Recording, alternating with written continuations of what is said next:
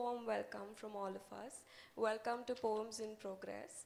Um, on the panel, my name is Aekta Khubchandani. I go by the pronouns she, her. We have with us Aparna Chivukula, Urooj, and Anukriti Sharma. Uh, I'm very excited for you to join us for this panel and uh, something about poetry. I do feel that poetry is like a crumb of a cookie and maybe prose is more like the packet of the the packet of the cookie box or the whole cookie box. And i'm very fascinated by how much a crumb of cookie can give us versus a whole packet. And as someone who also teaches creative writing i would like for us to start with an introductory question. Uh, please introduce yourself with the poem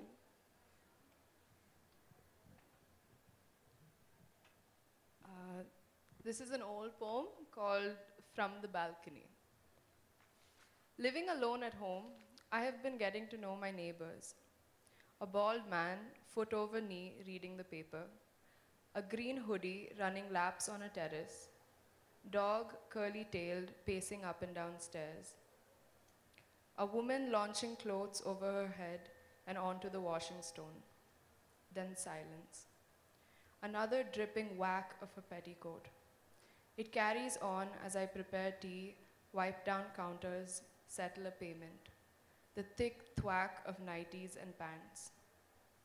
As morning light smokes through the neighborhood another day, I sit on the balcony and look out.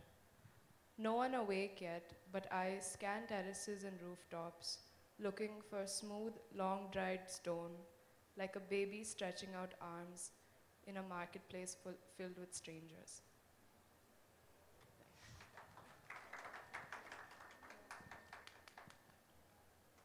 Hmm. Hi. Um, okay.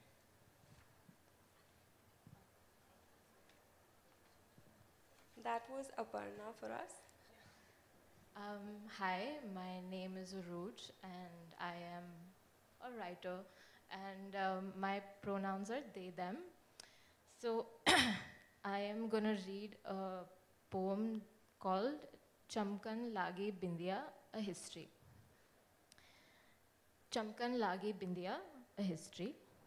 Intro. Siddheshwari Devi's voice, like smoke, rising. You say there is a song that makes you feel you are stuck in the wrong body, in the wrong year, in the wrong century. Chamkan Lagi Bindiya. A song that makes you want to be a curve, a swirling line, draped in a sari, dotted with a bindi, swaying your hips as you walk down the lane. Lagi More Bindiya.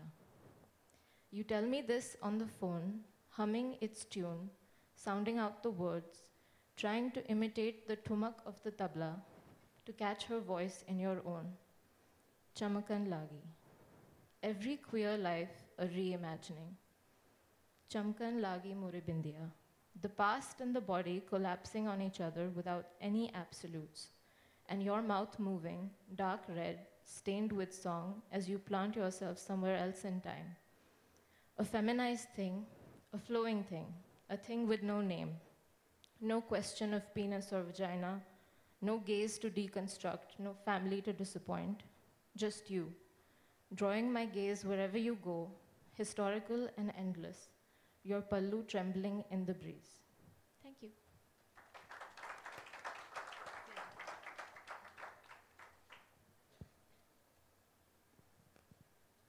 Uh, namaskar.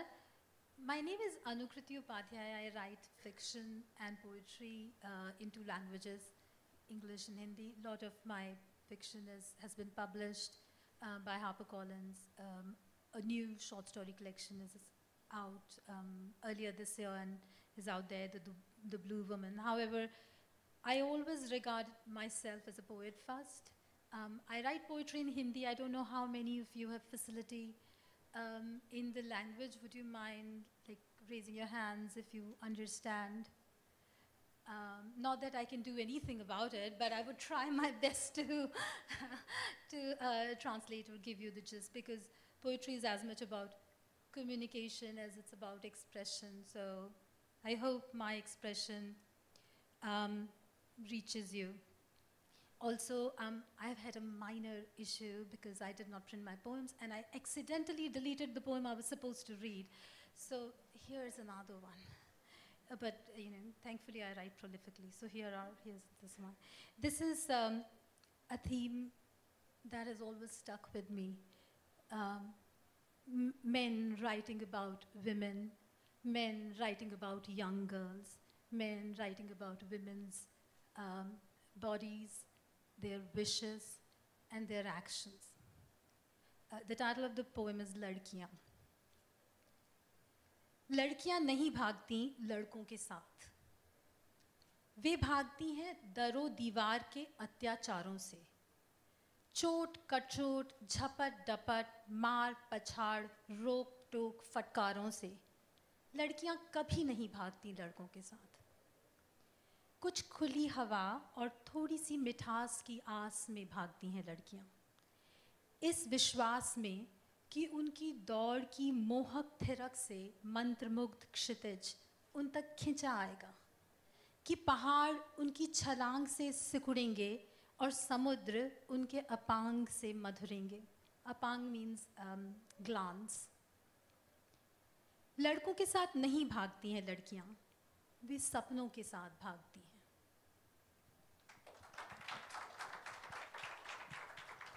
That was wonderful. Thank you so much. I also love the change of the poem. I feel like uh, that did so much justice uh, to your voice. Thank you for sharing that. Uh, I'll read a piece uh, called Another Love Affair. I'm currently dating English, and our love is one of a kind. My tongue rolls at the word blue. Imagine how much love our tongues would make when I mouth words like silly, belly, soft nibbles, buttons, buttocks, faster, flabbergaster, collarbones, flamingo flowers, and dark chocolate dimples. English tastes like eggs benedict with hash browns and sun-dried tomatoes, garnished with cheese on a lazy Sunday. Sounds like jazz music at a distance. I find myself swimming slowly. We've passed the tangy, tangerine moments. We don't talk in semicolons and exaggerated ellipses. But when we discover another sweet spot, we are like an organic jaggery crepe. Our orgasms are beyond a series of exclamations. I have learned how to breathe into a comma, to exhale to a full stop, shape into a question mark only to be spooned in with more flirtatious words. We've got this all mapped out, but this body of English surprises me with a new tickling spot another mole on the left side of my inner thigh, a gray strand of hair.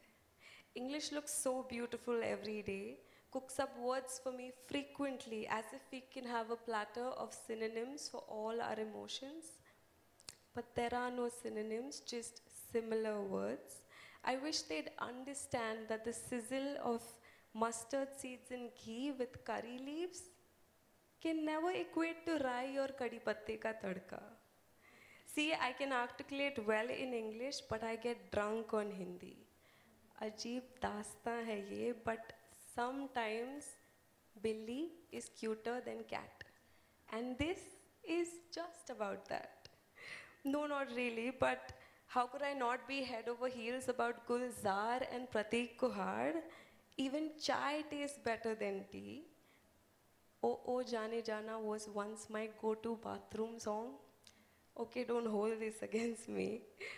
What I'm saying is that I want a love that Kundera writes about, that Ali Smith boasts about, but also the one, but also the one from Lootera and Masaan. I think love sounds wholesome in Bengali and tastes more like itself in Puranpodi and Basundi.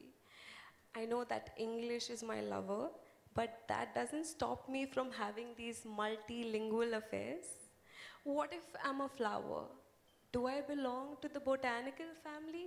What if I turn to a fruit? Am I the savior for the hungry? this geographical history cannot equate to the reality of my present tense. So, to everyone asking where I come from, how do you not wonder where all I am going to go?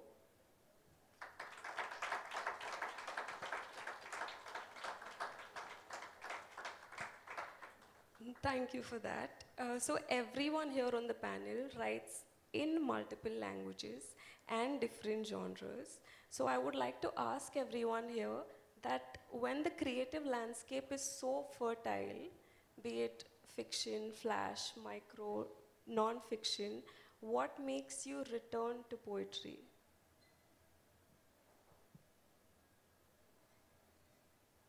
Anukriti, would you like to share some thoughts on that?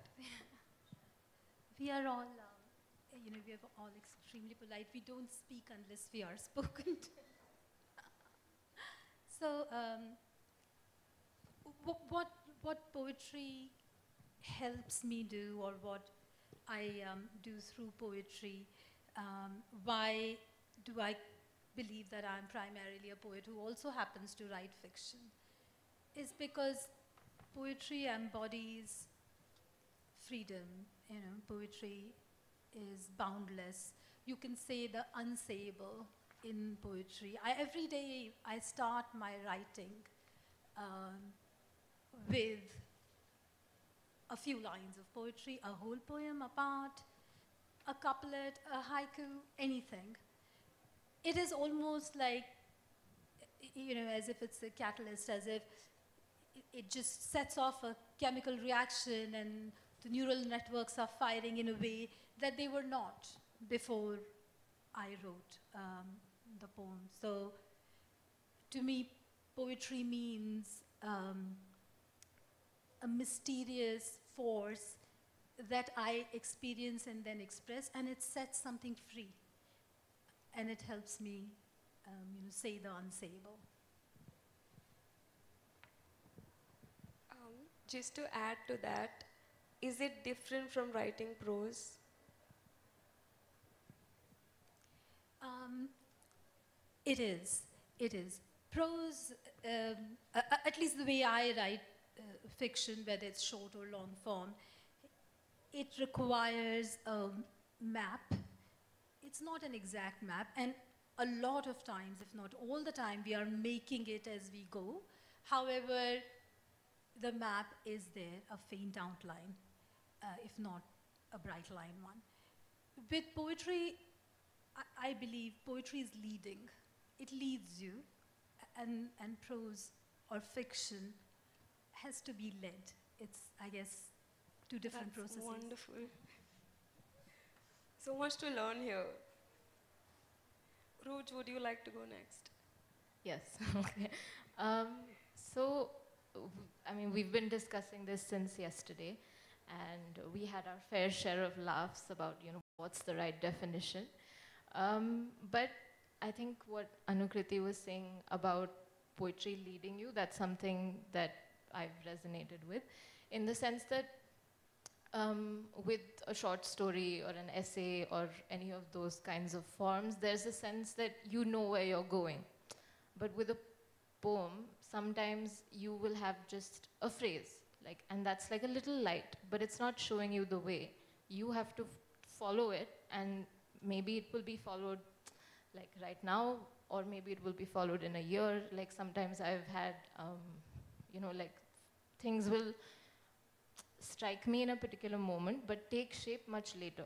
So I think that, in a sense, is very different from like a story or a, an essay etc. Because I feel like poems don't really have plans. Of course, you have to work on them, but only when they're ready for you. so that's all. Thank you. Go for it, Aparna. I, I don't have much to add, um, but I would say that poetry, it doesn't demand complete sentences from me, and it uh, there's a lot of space for like a fragment or for just a moment, and uh, so for the, in that way, it's a more immediate form for me. Whereas prose might be something that I have to that requires hindsight or requires some time to pass before I'm able to put something down that's uh, concrete in that way. But uh, poetry is able to be more ambiguous and I think uh, hold more fragmented bits of writing. And um, yeah. I think I'll piggyback on that, and I also feel that for me, poetry is the distillation of words. So, how much can I capture in that in that one line? How much more can I say by just using a few words? Is something that I keep going back to, and I also feel that when I read a piece and I revisit it, that piece has changed for me, and I've gotten multiple meanings. So, in a way, opens up different universes in my head so I feel poetry as a form is more imaginative and also more forgiving. It gives the reader space. Um, I think about food a lot, so I do think that poetry invites you to feast, but it does not tell you what to eat. And that is something that I enjoy a lot. Thank you. Uh, so it's really an honor to be celebrating poetry in person and also at a festival like this thinking about being in person and tapping into the nowness, what are you all currently working on, or what have you currently, recently worked on in the past?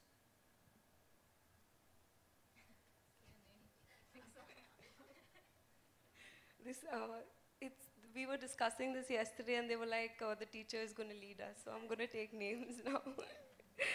uh, Aparna, would you like to share something? Yeah, I'll read something that's a work in progress.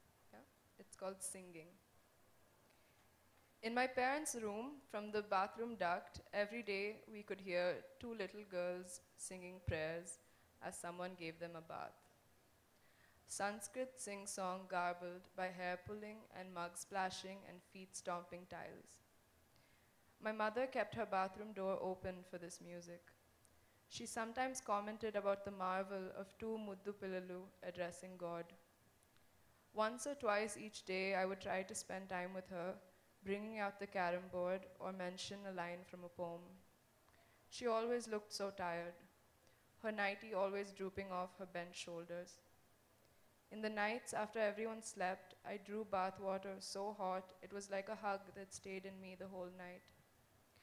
In the bucket, I once caught a glimpse of my eyebrows slant, silently mouthing to myself some heartbreak song, and stopped. I felt so ashamed.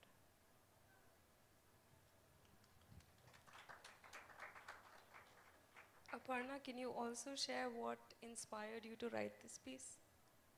Um, I, exactly what it says. That's about it, yeah. Some observation? Yeah, just feeling and yeah. Okay.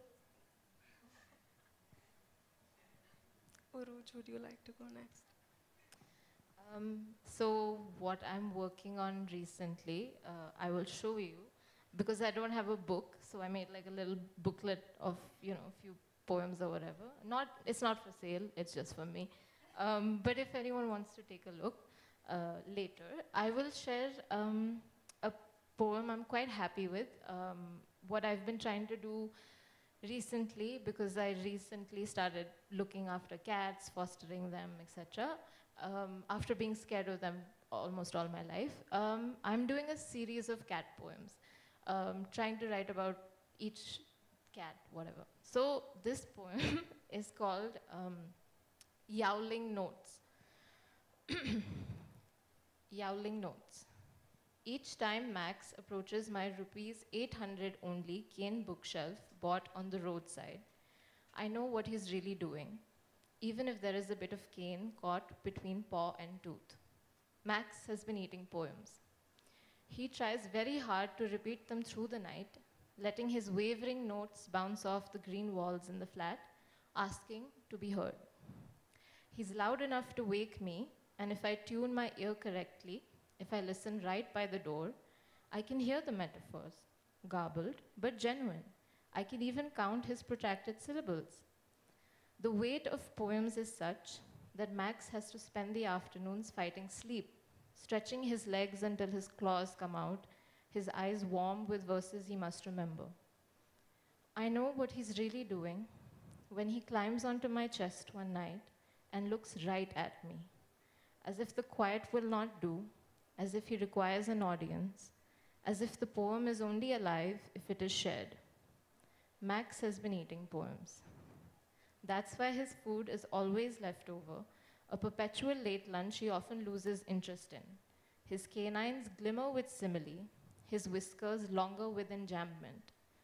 Restlessly pacing on his tiptoes, his fur expanding as his tail quivers, calling out a section of Whitman, then whittling out some fairs. He confuses Keats with Mehrotra, mixes Dickinson with Akhmatova. He pauses over Plath before he stumbles into Sappho, wrestling with himself until the only way out is staring at another piece of cane. I know what he's really doing. I have looked into his eyes.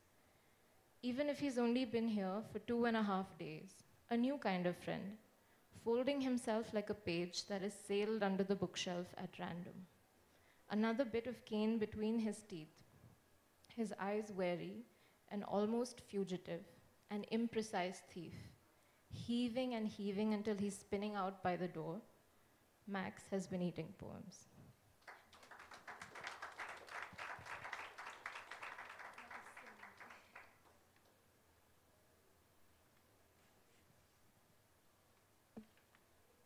So I'm actually taking off from a line from Aparna's poem, Drooping Shoulders, the nighty droop falling over her drooping shoulders.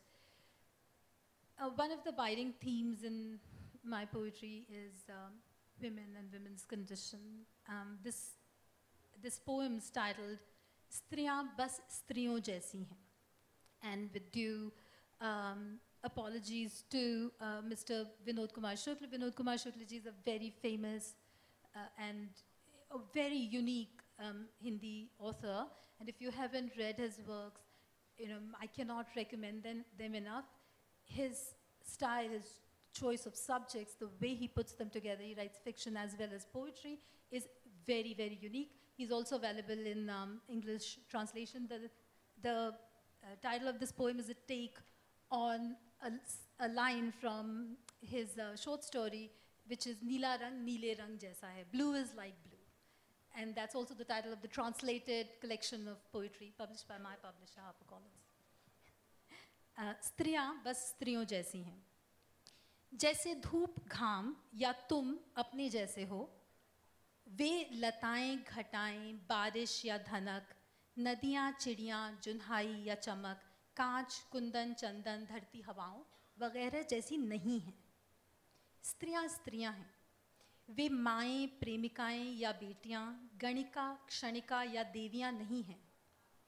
वे सिर्फ़ तुमसे मिलने घरों से नहीं निकलती हैं, वे सिर्फ़ तुम्हें देखकर नहीं मुस्कराती हैं।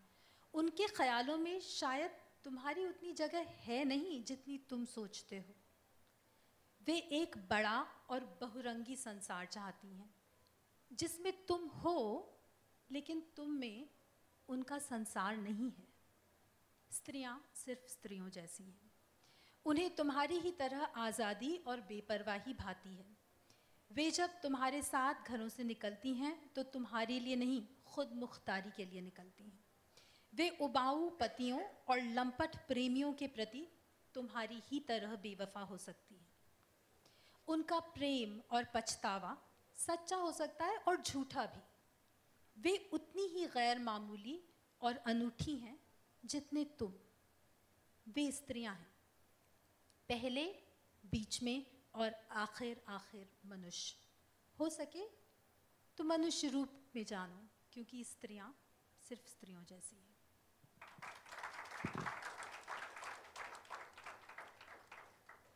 That was so gorgeous. Thank you for sharing. Uh, I'll be reading a piece called Sunspotting. For me, I keep returning to water no matter which city or country I'm in. So, sunspotting. It's the sound of waves I keep returning to. It's the sound of waves breaking in a blue scallop seashell by the sea. I wonder about wondering. Does it go anywhere? I draw flowers on my arms and thighs, ready to go to the beach. I am a walking, talking bouquet or a wildflower. I could grow into anyone, but I keep revisiting grocery stores. If I plug a rolled paper to my ear, I hear the harrowing wind like a falsetto that doesn't end. What is a finless fish? A paper boat without a puddle, a shell free snail. A seahorse swims upwards to avoid predators.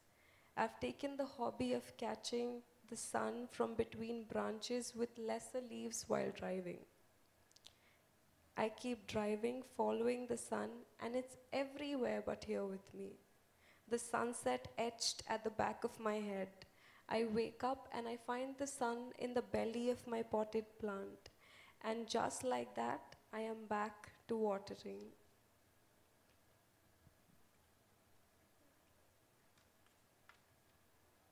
It is the sound of water I keep returning to. I scoop words out of words, dead from jaded, daunt from haunted, and sob from sober, and meanings out of nothing. I want to grow a flower with a mole and name it after the North Star or a pea pod, something to remember it by. And the swallows drink water by the river, carry its sound, and sing it into the sky. I should sing in the bathroom like my voice is made of ice blue sky. I had a dream of kissing a goldfish underwater. It broke when the seahorse swam upwards. To hear the water underwater is a new kind of listening. I wonder about drowning. And where does it go?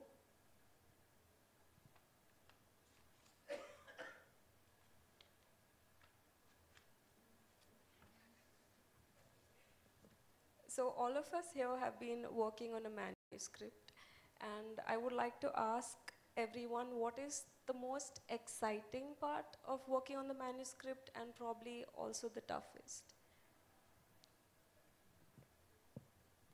I think for me, uh, putting together a set of poems is also the chance to put away the set, which is exciting because it means uh, new work can happen and there's an end in sight.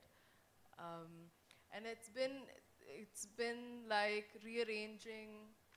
Uh, it's oh okay. So it's it's almost like uh, if you're moving house and um, you start registering the objects in your house differently. Things that you might have passed by on a daily basis, you suddenly they look different, and then you have to arrange them into boxes in a new fashion. So it's it's almost been like that to put together a set. So that's been exciting.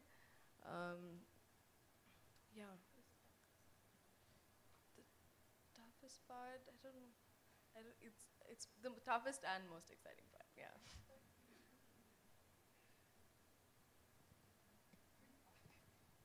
Um, I don't know how many people are interested in knowing our treasured insights, but we have the mic, so um, I think the fun, um, fun, yeah, uh, of putting your work together is that I've been able to figure like themes, like oh, I'm a little obsessed with cats, or that you know, um, I uh, I've realized that a lot of my writing is about different places, places of food. Um, and that's been interesting because I'm based in Delhi and there's a lot of interesting food cultures in Delhi. Um, and I sort of was, I'm starting to do like a little bit of writing about uh, immigrant food culture. So, for example, one very interesting um, piece I think that I'm working on um, is a poem about a Syrian restaurant that I was recommended about three years ago. And what's interesting is that in the last three years, they have changed their name thrice. So, and the write, like the process of writing is not just that I was happy with the food, but also I was very curious that why are they changing their name every year? Every year I would be scared that it's shut, I won't get my food, blah, blah, blah. but the interesting thing is that um, th through discussions with people there and people who visit, um, I was able to gauge that there's a lot of Islamophobia that's actually happening, and the restaurant keeps getting review bombed because people are not happy with the fact that they serve meat or that they have mosques, like just print out photos and Arabic in their menu. So it's very interesting to kind of, I don't know, this is a tangent, but interesting to see um, that, of course, food is interesting, but there is also so much of an undercurrent of like politics and like who is making it, who is eating it, why, why, I mean, why are things reviewed in particular ways? Um, So yeah, I think that's been very interesting for me, um, looking at these kinds of themes of, you know, yeah, that, that's. Would you also like to share the name of the restaurant? What were the names? Sh- sure. um, first time they went with something very simple. They were like the Syrian restaurant. Then, then the next year I was trying to find them, and then I saw a board, and the name was Not N O T. That's it. I was like, okay. and then this year again, I was passing by, and I was like waiting to see, and now their name is Sultan Al Arab. So let's see what happens next year. um, yeah. Um, so I resonate with Urooj there that um, you identify themes in your own works. You see uh, what is your obsession. For example, I found I have 20 poems on moon. I'm clearly obsessed. They are all in meter, they are all different, and they all have very different um, thoughts and images of moon. So um, also, uh, you know, I, see how I have moved over time because I've been writing poetry for a very, very long time. Um, I see how my um, expression or my usage has changed and how many poems I can discard and never look at again. Um, so uh, to me, it's the process of um, almost a process of discovering where my poetic voice is headed. You know, for, for me also, it's interesting to see um, how how it's developed interiority, how it views ex- the external, how it's impacted by seasons. Um, so it's like a housekeeping exercise, a bit like a parnaya, housekeeping. Uh, I think for me, I love to, like, once we have the index, I can understand the hierarchy. So, which, which piece am I going to give more power and start my book with that? Versus which piece is going to be the title poem and what follows after. So, um, I think what I've realized is that while writing and curating or revision or whatever we'd like to call that, is what power I'm giving which voice am I starting a piece in a woman's voice or am I starting it in first person narrative? And that does illustrate what the reader might carry through going, going forward with the book. Um, so that is something that has been, that's something on my mind while working on my book. And um, I'd actually like to, like for us to share a short piece. Each of us, we, we have close to four to five minutes now. So would love for us to share one short piece, all of us. Um, Aparna, would you like to start?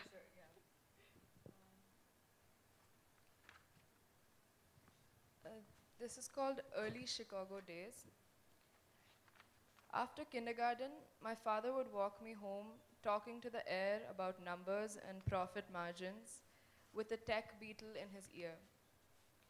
The other kids could think him crazy, so I mouthed words in his direction, nodding, my baby mittens trying elaborate gestures. It was all for strangers passing by, our invisible two person play me whispering the English I'd learned that day, and Mr. Murthy insisting to the air, It's all right, sir. You can call me Murphy.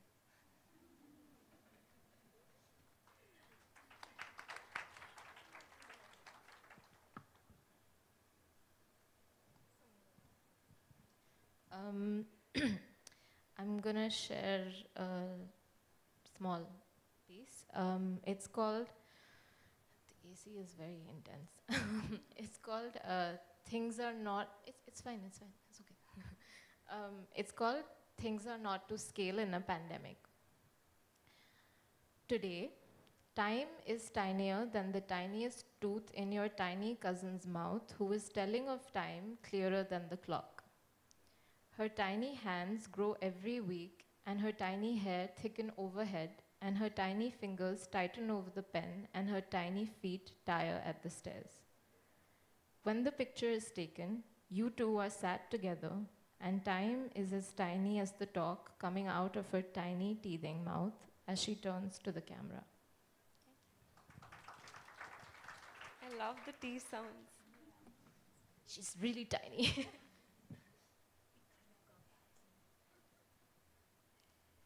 Um, I, um, I'll read a poem that is more in meter because I write in, um, in both rhythmic and free verse, so thought maybe, you know, just to vary. Uh, the title is माँ का घर सुबह सवेरे बजी है घंटी दरवाजे पर आहट किसकी गुंजित है स्वर कुत्ता भौंका चुप रहे नटखट माने डपटा देर रात तक जागी थी, वो अब सोती है। नल से टपका पानी तुर तुर गलियारा पैरों की सरफर खुली रसोई, बर्तन खटके, झाड़न, पूछन, चूड़ई चटके। माता जी दूधिया गुहारा, क्या कलेवा मेहरी बोली? झिड़का माने धीरे बोलो, सोती है वो। हवा झरोखे में भटकी है, धूप छाह में जा अटकी है। रात नवंबर का उगता है, नील गगन शरद पकता है। आधी जागी अध सोई हूँ माँ का घर है अलसाई हूँ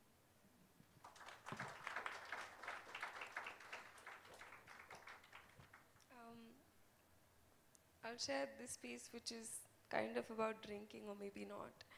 My heart is an oak tree. My heart is an oak tree. It is big and branching. It must be a hundred years old. Oh, my heart is a wine barrel. I've had much to drink. There are flowers growing, facing the mud and soil. Blooming is a small, sad thing. Meanwhile, the bird song is more melodious. Then bad things happen alongside good things, like crying and breaking into laughter. Funny things happen too, like I ate lemon seeds after reading a poem, or I saw a squirrel nibble on an acorn and imitated it. I wonder about vegetables, how they soften when they are spoiled, and that we cook them on slow flame to soften them. These matters of the heart must be left to take their course. That is, if my heart is an oak tree, or I've just had much to drink.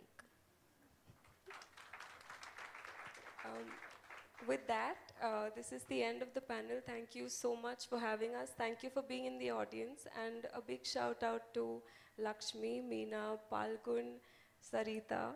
And I have a long list, but I'm going to keep it short. Thank you, everyone, for being here.